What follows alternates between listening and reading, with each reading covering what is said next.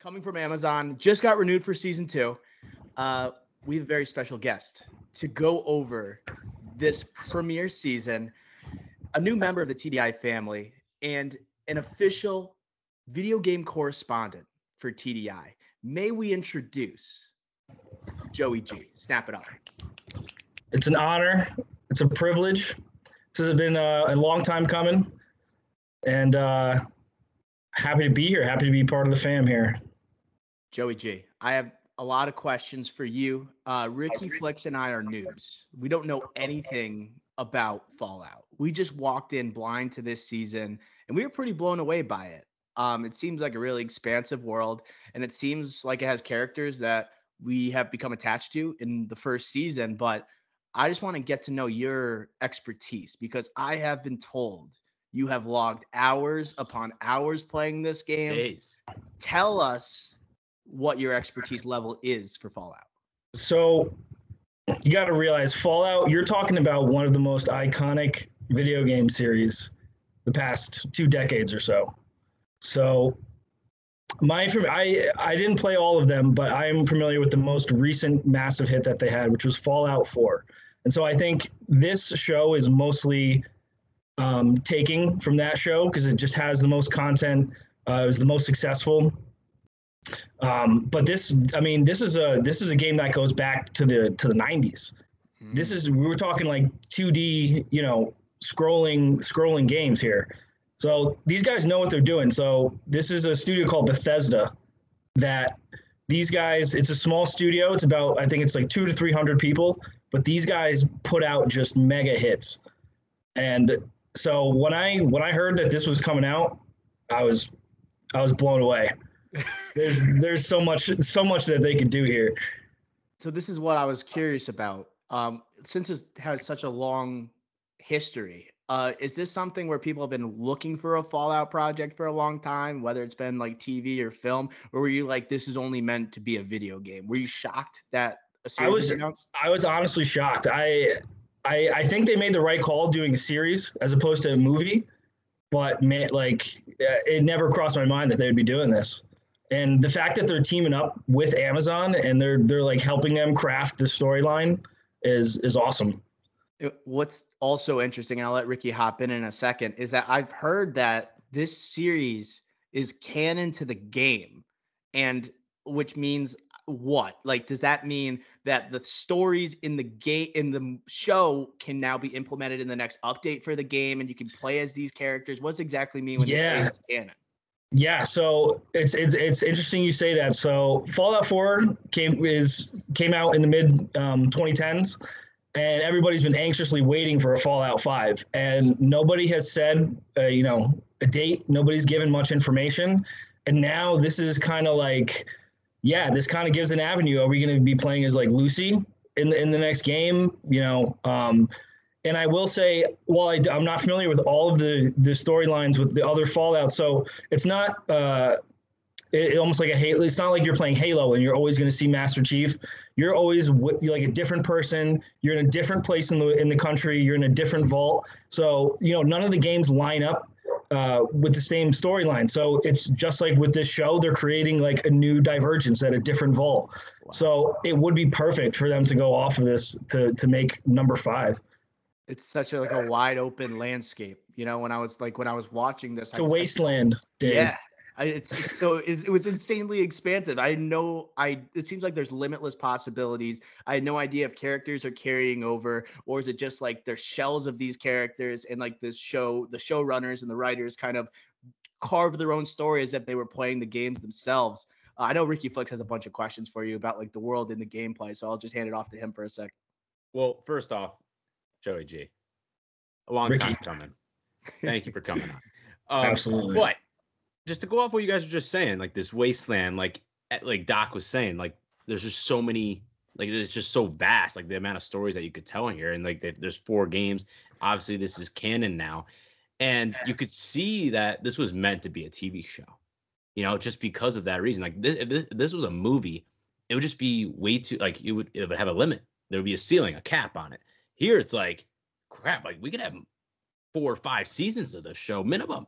Obviously, it probably won't be just because of logistics, but like it makes sense why it's a show, and I love the world building that they did here with the different factions. How there's like yes, like Lucy's a central character, but like there's really four main storylines going on, and they're all like interwe- interweaving around each other. Like this show really like came came across. I was really hyped up for it after the trailer and the budget I saw. Walter Go- Walton Goggins, one of my guys, but I loved it. I absolutely love the show. Yeah, you're so you're 100% right. So I'm going to tell you a little snippet here. So this same this same studio, uh, Bethesda, they uh, have they, there's another series, same thing, going back to the 90s, which I'm sure you guys have heard in passing at some point, but um, a game called Skyrim. Oh yeah, uh, Elder Scroll Elder Scrolls. So there is a, a, common phrase that the that the young uh, young kids like to say nowadays called NPCs, non-playable characters. Mm-hmm. Skyrim is the originator of NPCs. That's where it came from. So these games are littered with characters and just like these unique situations. And like and as you play these games, it's just so many little uh, you know branches of storyline. And that that's the most entertaining part of the game in my opinion is just all the little like the people that you meet and things like that so um it's it's yeah like this is what they do they they're just content machines there's so many little things i feel like this type of canvas the open landscape seems like skyrim's the same type of thing exactly and like with all these like video game adaptations like the most successful we've seen it seems like everything tv format for video games is the way to go but the last of us did you watch The Last of Us? Can't say I have. But have you played the game? Wow, interesting. No, okay. I'm a little behind there. So, like, we're supposed to be talking about Fallout. Uh, yeah, but just successful TV adaptations. It's probably Fallout and The Last of Us. And The Last yes. of Us is a little more like prestige. And the way the difference I've heard and I've read about is like when you play The Last of Us, it's like a script that's already been written. You're just following along a journey. And here it's like these type of games, Skyrim and Fallout, right? It just has so many different directions you can go. Like as someone who hasn't played the game, but putting myself potentially like in the shoes of like yourself and all these other fans, I'd be kind of nervous like they might screw this up, you know? Like how are you going to be able to faithfully adapt this when it's such an open landscape, you know? So like you as a fan, what were you looking for? Like they're making a Fallout TV show. I got to see this. What were you looking for? Yeah. So um, I'm not going to try and give up too much here, but there are a few different factions that we haven't met yet at all in the show, and um, it there is basically almost like a trifecta of uh, groups that you know one has certain interactions with all of them, and so we haven't we've only seen one, and I'll, I'll say is the Brotherhood of Steel. So they also took a unique turn. I will say that kind of deviated from the game in the sense that uh, there's this religious aspect to it that wasn't really prevalent. So that is kind of a new a new uh, uh, thing. So it's almost like the uh, the knights are kind of worshipped as like uh, you know like divine creatures, if you will. Mm-hmm. And it almost gave me like uh, like a like the Sardaukar like Dune 2 vibe, where it's like there's like these really religious warriors um, so that was definitely unique uh, in that sense. But I'm telling you, in these next seasons, these other factions are going to get introduced to the show, and it brings a whole like power dynamic into it that gets very interesting. And uh, in the ser- in the game series, at least, you're you kind of align with one of the three. There's really like four factions, and that kind of tailors your story and so you stick with like that faction through the whole game. And so it's going to be interesting how they because obviously they can't do that with the show. There's there has to be, you know, all parties represented. So it's going to be interesting. It's definitely set up well. So they've only scratched the surface. 100. percent There's a lot more to come, I'm sure. We we've had three vaults like the triangle, you know, and then we've had like the places that I was thinking about, like if I was playing a game, if I was if I was in the Fallout world, uh the Philly, like that that town, Philly. I assume that is a place that you could go in the game. You can access resources, you interact with a bunch of different people, you could have like violent interactions with people. It's like that type of stuff in the game too. And then they do like like the music you talked about with me earlier like is that a huge part of the game too like is that those type of details do you think the show like did well adapting that stuff? Yeah so what the interesting thing is um so this one happened in the california area right? Uh, i'm not sure exactly where where it was supposed to be in the show but um so for example in fallout 4 they were in boston. That's where the vault was. So there's kind of different communities in these different places. So while there's not um, you know, a direct, you know, copy in the game in the show, um, I'll give you the example from Fallout 4. There was Diamond City. So if you can guess where that city was, it was inside the uh, the Green Monster. No way, dude. Wow. So that was like their big city. It was called Diamond City. Um, and so that is that does reflect, uh, you know, from both the show and the game. They have these communities in like certain marquee locations, and uh, because they're in different parts of the country, and that's that's like kind of how the story just keeps growing. They're you know, and I guess just to chime in here, uh, I should just say before I say the spoiler, like if you haven't watched Fallout, you should probably end the pod and come back to it uh, after you watch it. But a question here, so I think I did not play the game. My roommate in college, Johnny Sims, Star Wars correspondent, uh, he played the game. Um, which so at the end of this season, right? And you see Hank looking at that city. Is that Vegas? And that was that like a big part of the game? So one of the spin-off games was called Fallout New Vegas. New Vegas. Um, okay. So as far as if that was supposed to be Vegas, I'm not sure. Um, I, I forget what that city was called um, in the show. Uh, that that was the city with like thirty thousand, right? it was like the ending uh, scene. It just to me like you saw the big balloon, like you see like it kind of looked like a Vegas, but like obviously apocalyptic. So I think that was I think that was the same city um, that was blown up the second time that uh, Maximus was from. Okay. Yeah. Okay. I'm not sure if that was supposed to be Vegas or not though. Um, okay. But maybe that was a you know a uh, a wink to Fallout New Vegas. Definitely. That's possible. what I was alluding to. Like maybe yeah. it was like a wink to like, oh, this is good. The next kind of area we're gonna tackle here, and I don't know, like obviously Coop slash the Ghoul and Lucy are gonna have to get there and go through all these different factions that you're talking about that we haven't even met yet. Mm-hmm.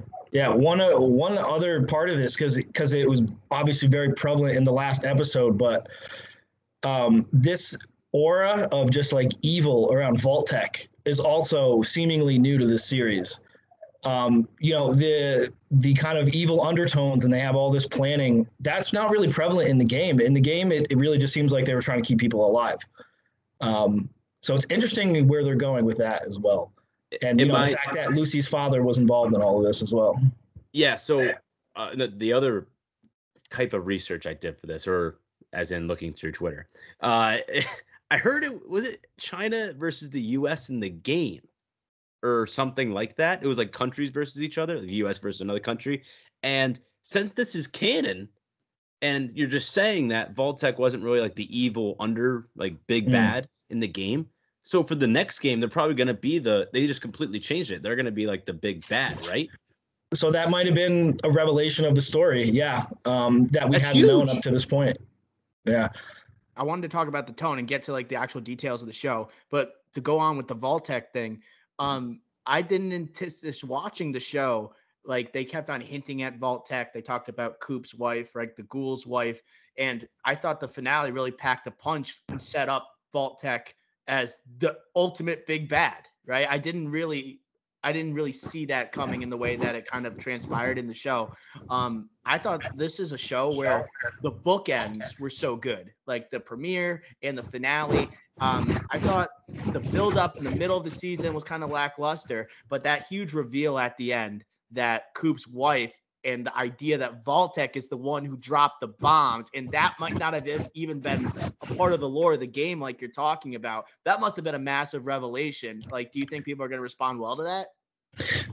Yeah, it's a good question. I mean, the thing is, I see. I, I I don't really have a problem with it. I'm okay with that fitting into the story because honestly, um, the you know the games kind of start after that stuff has already happened, after the bombs like have dropped. Fallout 4 starts right when it happens, and you know the next thing you know, you're in in the vault.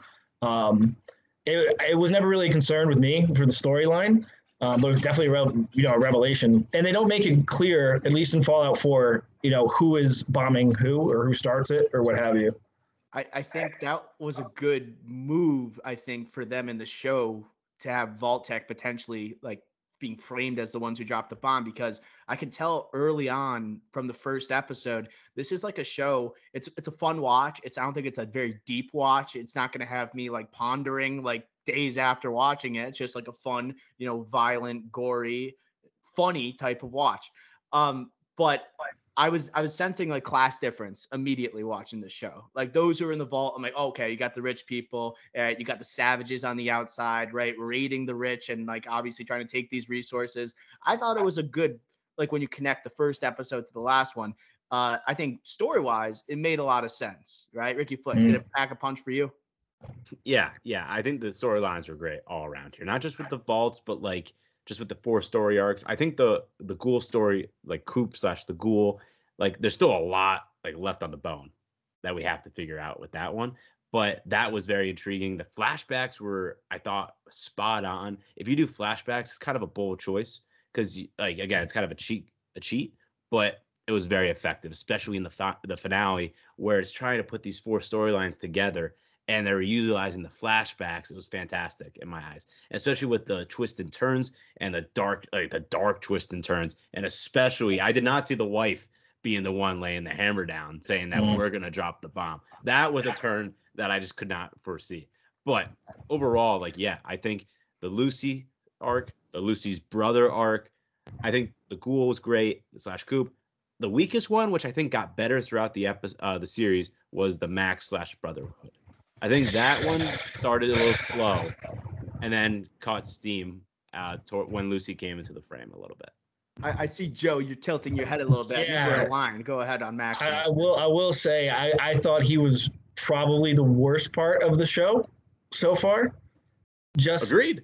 Especially when they got to uh, Vault Four, um, and you know he has the robot. He's eating caviar, and he just turns into like a slug like this guy is supposed to be like a Brotherhood of Steel guy, and he just you know sits there um, and like refuses to leave after all that. I thought that was a little bit weird, and it it, it I it just seemed a little bit lacking with him. Vault, Vault when they went to Vault Four, I think that was my least favorite part of the show. to be honest, like that, but that's where it's like I think the first couple episodes, I think there's a lot of momentum great premiere. But when they went to Vault 4, I get it. It's important, right? They see Moldaver is like being worshipped here. Ellie, I mean, now not Ellie, Ellie Purnell is playing Lucy. Lucy realizes the vaults may not be what she truly think they are. It seems like she's starting to have like um, a change in thought regarding the vaults. Like I get it, it's important, but to me, pretty boring. You know, I just did. I wasn't as locked in about on on that aspect. Um, it was it's important to the character, but um, I thought Maximus, yeah, I was a little thrown off with his behavior in Vault 4, but the way he was just almost forgiven by the Brotherhood. Oh, yeah. The way oh. they just put him on a pedestal for betraying his yeah. knight as a squire, him just cutting corner after corner. And then all of a sudden, the leader of the Brotherhood is like, join me. Like he's like a Darth Vader to his Sith Lord. And then we're going to rule the wasteland yes. together. I was like, what the hell is going on? I, I couldn't have said it better myself. That's exactly how I feel. Ricky, you got it. Like, that's what I'm saying. Like Maximus, like intriguing character, love like the environment around them and I think he started off as a real badass, but by the end of it, right, I was just shaking my head saying, How did we get here?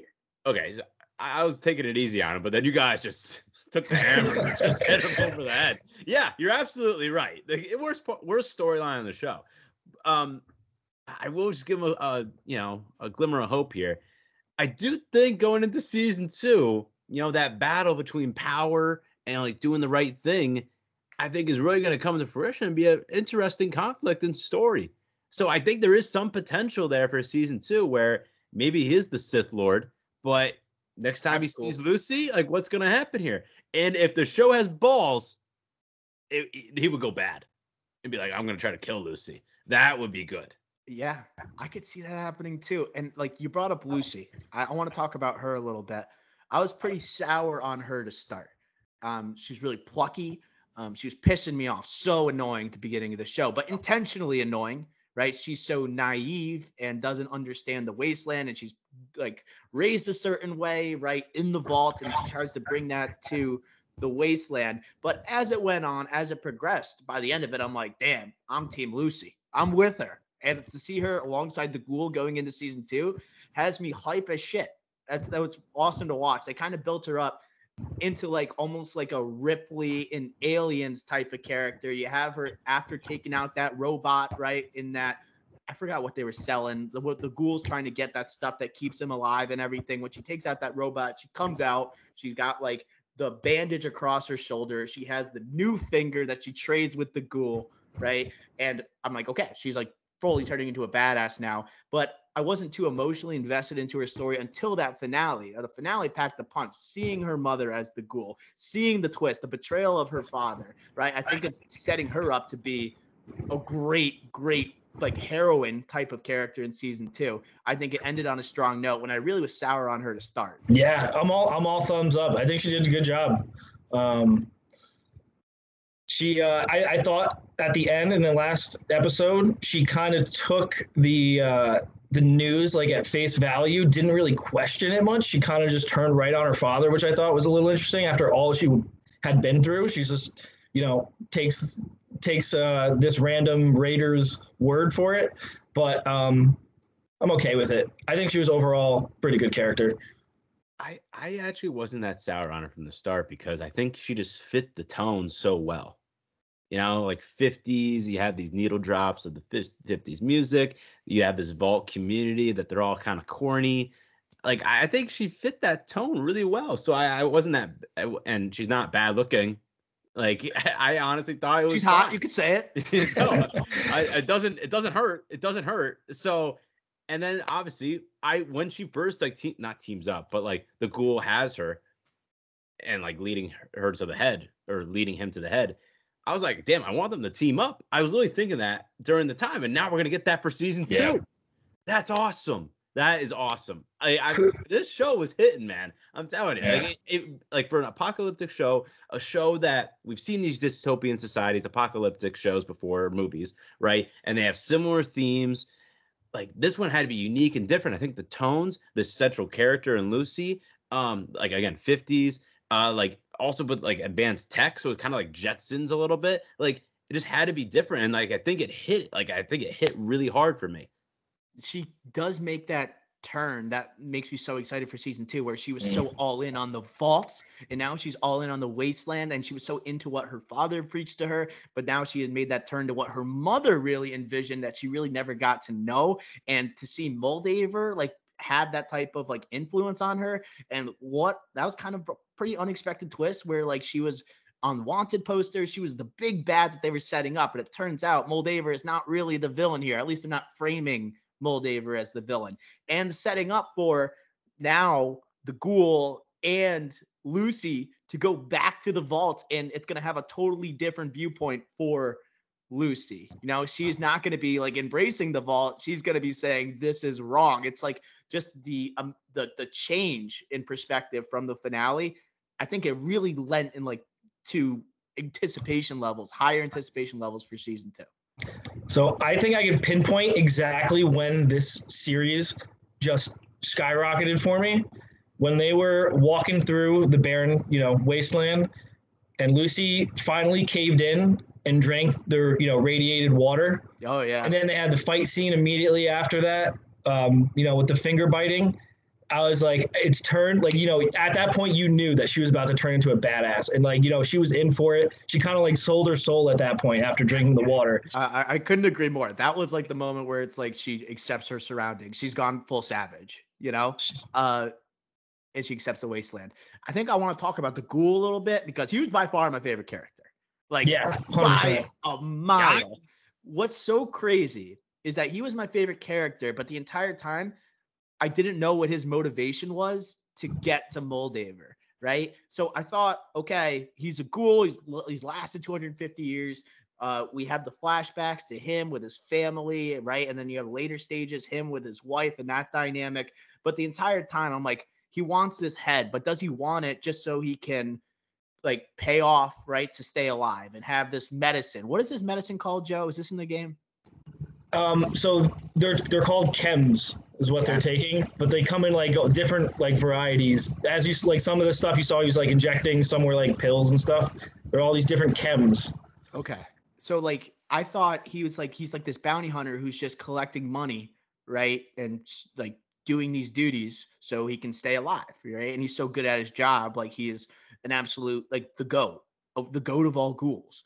And then to see him in the finale to drop that bomb, like his family may still be alive. Where's my family? I thought the flashbacks in the last two episodes building up to that moment was pretty spectacular. It was pretty spectacular. But Walton Goggins, such a TV legend. Every time he is on the screen, one of the best character actors that we have.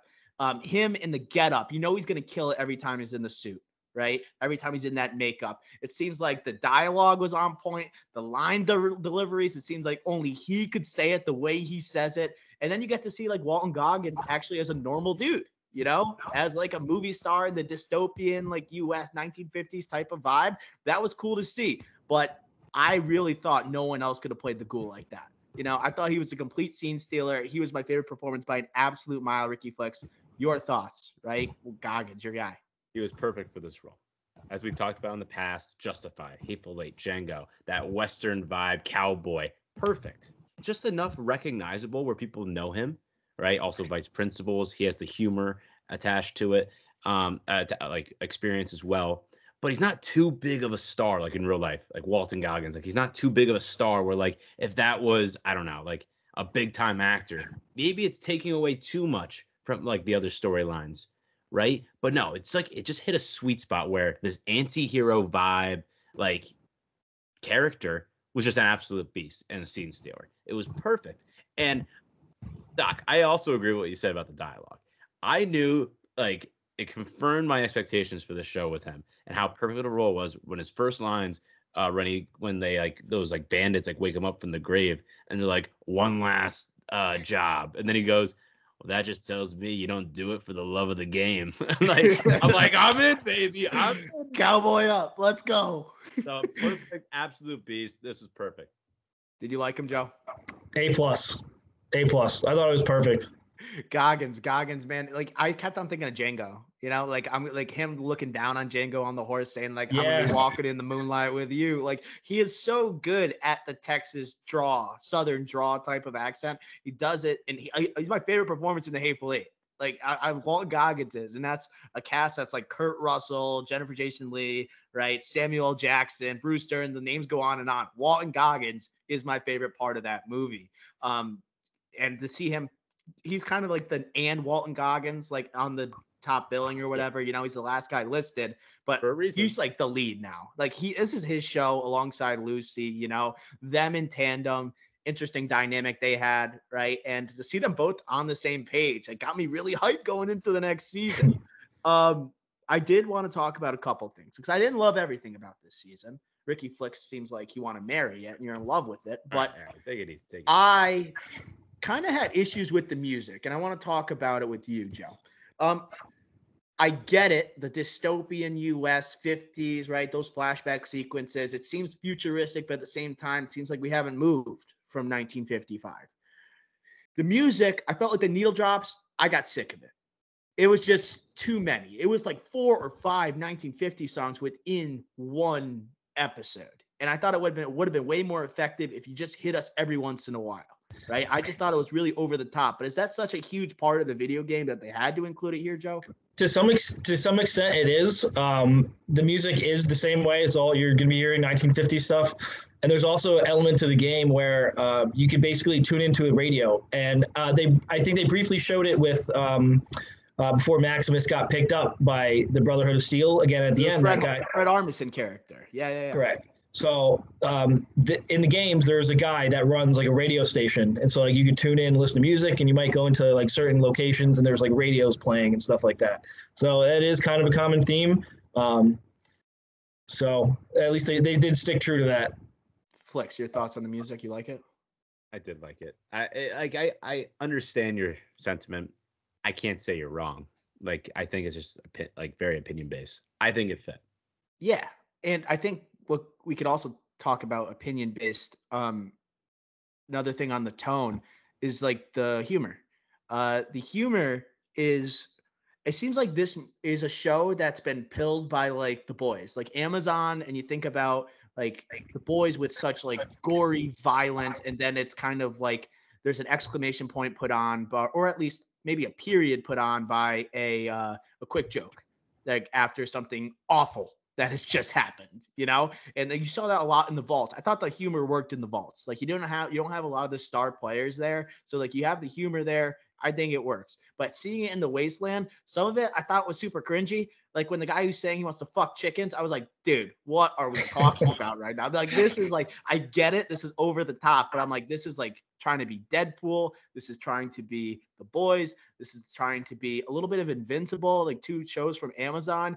I just feel like it, there's a certain tone to these shows, there's certain expectations for the audience that they're trying to live up to.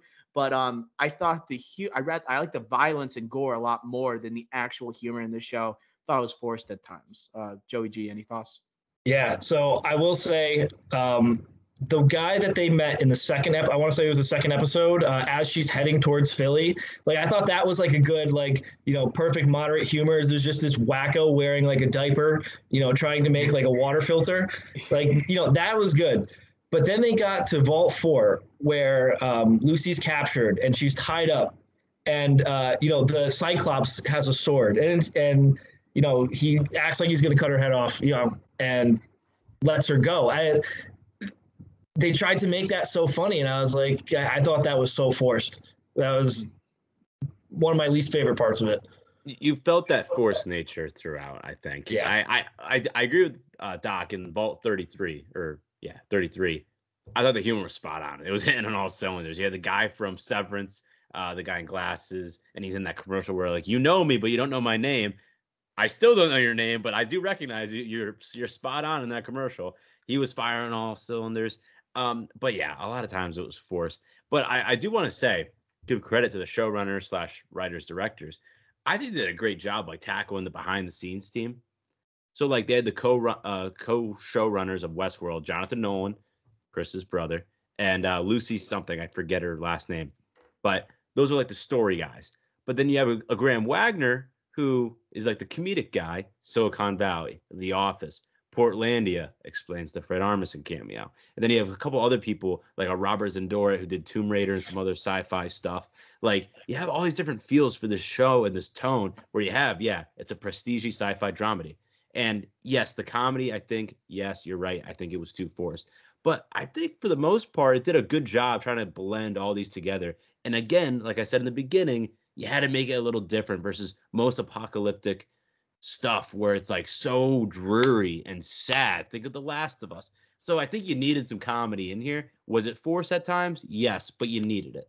When when I think about like the vaults, the vault the vault stuff, like I didn't like the heavy drama that went with the vaults and like the brother of Lucy. Like that wasn't my favorite part of the show, but it was a nice piece of comic relief every time you went down there like all the effed up stuff you're seeing in the wasteland and then you go down it's like they're having the overseer like vote. And it's just hilarious where they're running campaigns like i put up 10 posters how did i not win? And uh, like the guy like going into the going into like vote and casting his ballot he's like who am i kidding? And he votes against himself you know?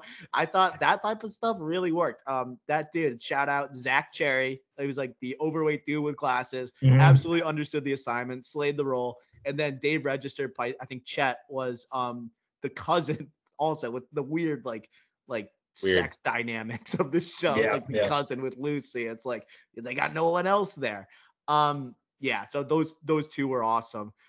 Other thoughts on the show, boys? Like maybe like where do you think season two is gonna go? This might be a good question for Joey G, knowing unless like for Joey G, like knowing the game, like do you what do you predict we'll see that we haven't seen already? I, I don't want to like reveal the the groups that I think are going to be emerging, but there is one uh, small thing that I think we're going to see that I think is okay, is okay to talk about here. And there's um there's essentially a, a militia that is patrolling the wastelands called the Minutemen. Um, and they're basically the general good guys of the show, like you know, taking care of the people. And I have a feeling that's probably going to be one of the first things that we see going into this next season is that they get linked up with them. And, you know, that's kind of like where the protagonist story goes, them doing good deeds. But um, we're gonna see it, the there's still so much with the Brotherhood of Steel that has to come out, and um, we'll see. I'm excited. Flex, any predictions? Predictions. I, I I said my Maximus hot take, where he could go bad. I think that would be awesome. Mm. Um, another thing is that I, I actually disagree with you, Doc. I kind of like the Vault storyline, the conspiracy. I'm a big conspiracy theory guy. Buds, buds. I kind of like that whole thing, but we never actually see Lucy's brother enter that cryo chamber. Yeah. Mm. We Yep. never actually see him enter it. Maybe that brain robot Bud like recruits him to take over for a failing Betty, perhaps. I don't know. Um, I think that's just one little thing to look out for. We never actually see him go into the cryo chamber. That that that brother. It's uh, Hannah Montana's brother. I when I saw him in episode one, I was like, I rolled my eyes. I'm like, He's a I girl. thought this show was gonna be better. No I way. literally was like, I thought the show had was had better like ambitions. That's literally what I thought. He was I pretty good in it. this. I know. He was good. Yeah. Um, I had another. I had a question because like I just lingering questions. Um, Moldaver, like she was around 250 years ago. How the hell is she around right now at the finale? Exactly. You explain that to Yeah. us, Bill? Um, so it's it's I'm I'm assuming the way they're gonna frame it is those cryo tubes, um, and that is also prevalent in Fallout 4 too. Um, without going too deep into that story, but yes, so there are these cryo tubes that can freeze you. So I'm sure she wasn't on the surface for 200 something years, but um, you know she came out at some point.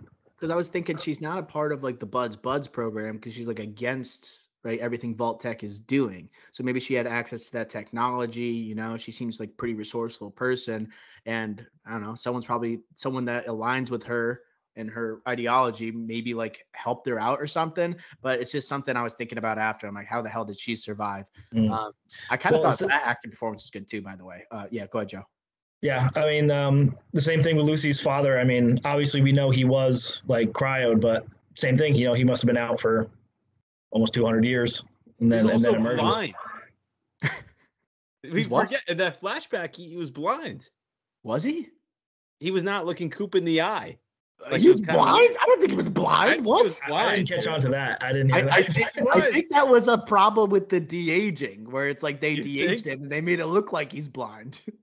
Wait, I'm googling was Hank blind in flashbacks. oh, that's an unanswered question. What are you talking about? Dude, I think he was, man. Yeah. Did I- you know when they said Henry that they were like, you know, the big reveal? Did you like, oh, they're talking about Lucy's dad? I No. actually didn't catch on. Yeah, that, that, that, that, was, that blew me away. Where it was like the motivation for the ghoul, where he said, "When I heard the name MacLean, like I knew I had to Mm. keep walking." Right? The the hidden motivation, how you stick with the character no matter what, that was pretty crazy. Um, okay. Uh, I don't have any other lingering questions here. Uh, Ricky Flex, you got anything else for our, our expert here, Joey G? He's done a phenomenal job so far. Our New video game correspondent. Yeah, Joe, show that off to the YouTube. What, can you see that shirt? Nuka Cola. Coca-Cola, baby. Joe, oh, Joe, Joey G. I had another question. The dog, the dog is that a huge part of the show? That is the first companion that you get pretty much when you start the game. So yeah, it's kind of uh it's a good like, you know, foot in the door thing. It, it was good to see that. Yeah. I'm trying to think if there's any other like small things that you saw. The code. I, I read something about the code that was entered at the end. Did you notice anything about that? Yeah. Are you talking about the password? On Yeah. The, For yeah, the, yeah. For the um cold fusion. Uh, so I didn't. I'm not sure if I noticed it for the cold fusion, but um, if you're referring to the um, it, while they're in the vault and they're trying to get into the um, I can't think of the like the the leader's um, computer, the terminal, Okay. and he had all those names Mhm. going down in like different figures and stuff, and he had to pick a name. That's like a dir- direct copy of what you do in the game to hack into stuff. So there's like a little puzzle with you have to identify the names that have certain um, letters the same and stuff. So that was cool. But uh, maybe, maybe that was for the cold fusion thing too. I didn't notice though. All right. That's a. I, I read something about it and seemed like people were calling that out on social media. Uh, Ricky Flex, you still here? What's up with you right now? I'm still here. What do you mean? Frozen in time. Your cam, yeah, you're cryo chambered. Your bud's butt. Cryo chambered. You gonna turn your turn your camera Ricky's a on? bud bud. Oh, he's Ah. frozen. Okay, this is a good. I think this is a good wrap up point then. Okay, let's put Ricky in the cryo chamber. Let's put him to sleep, and then uh, we'll This, We'll move on. but renewed for season two. Renewed for season two. Much to uh, our excitement. this has been a hit. And this was a fun Awesome. watch, entertaining watch. Joey G, thank you for hopping on. Our new video game correspondent, um, truly an expert in the Fallout realm. We'll keep up to date. Any type of news, we'll have you back on.